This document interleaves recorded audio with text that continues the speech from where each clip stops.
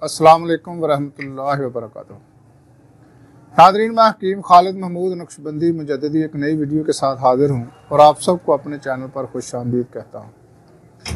Nadreen, channel को subscribe करें और बेल आइकन ज़रूर दबाएँ ताकि आपको हर रोज़ नई आने वाली वीडियो सबसे पहले मिल सके। वीडियो को शेयर भी कर दिया करें ताकि दूसरे लोग भी इससे फ़ायदा हासिल कर सकें। वैज़ाब मृत तो फाहवा यशफीन, जब भी मैं बीमार होता हूँ, वही अल्लाह शिफा देता है। शिफा देने वाली अल्लाह की ज़ात है। दुआ खाने से पहले ये दुआ ज़रूर पढ़ लिया करें, ताकि अल्लाह ताला उस दुआई में शिफा रख ले। भरोसा हमेशा अल्लाह ताला पर ही करना चाहिए। जो लोग गारंटी मांगते हैं या जो लोग गारंटी देते हैं, वो गुनाह करते हैं, क्योंकि अल्लाह ताला ने कुरान में जो चीज़ फरमाई है, वो आदमी उस चीज़ की गारंटी नहीं दे सकता। नाजरीन, आज का मेरा मौजू है बच्चों के अमराज नाजरीन, आपने सुना होगा कि एंटीबायोटिक। आप किसी भी डॉक्टर के पास जाएँ, वो आपको लाजमी कोई ना कोई एंटीबायोटिक साथ देगा। ये तिब में भी हर किस्म की एंटीबायोटिक मौजूद है।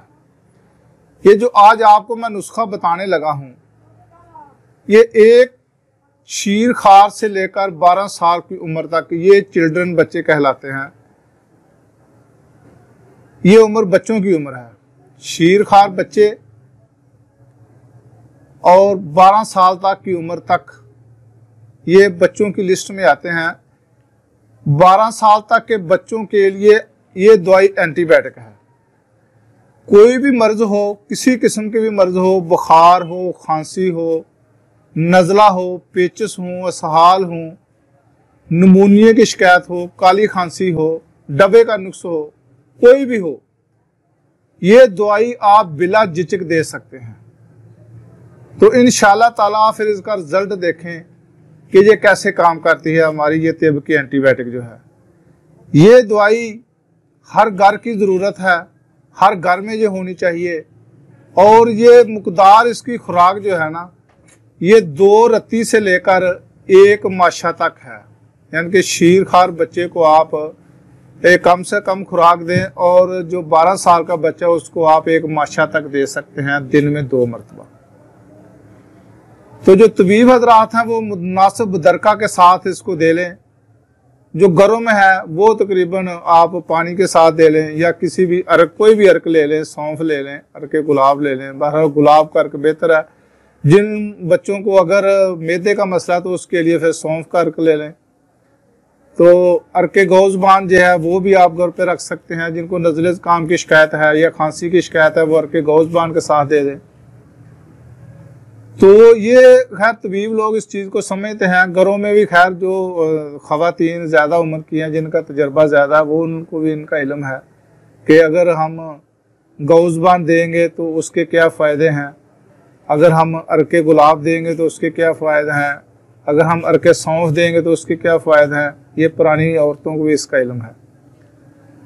तो ये जो दवाई है, सिर्फ़ छः चीज़ें हैं। आप इसको बनाएँ और हर घर में इसको रख लें किसी भी महफूज जगह पे, शीशे के बर्तन में इसको संभाल कर रखें। बवक्त ज़रूरत इसको आप इस्तेमाल कर सकते हैं। तो नुस्खा मुलाजा फरमाएँ। सबसे पहले तो आपने जदवार खताई। ये आपने एक तोला लेनी है। अगर आपने डबल करनी है तो दो तोला ले लें। मैं आपको दो तोला के हिसाब से इसकी मकदार बता देता हूँ। जदवार खताई दो तोला, रेवंद खताई ये भी दो तोला, जहर मोहरा खताई ये भी आपने एक तोला लेनी है। दो दो तोला वो लेनी है और एक तोला ये लेनी है। ये तीनों खताई आ गई। यानी कि जदवार खताई, रेवंद खताई और जहर मोहरा खताई। तीसरी चीज़ जो है वो है काली मिर्च।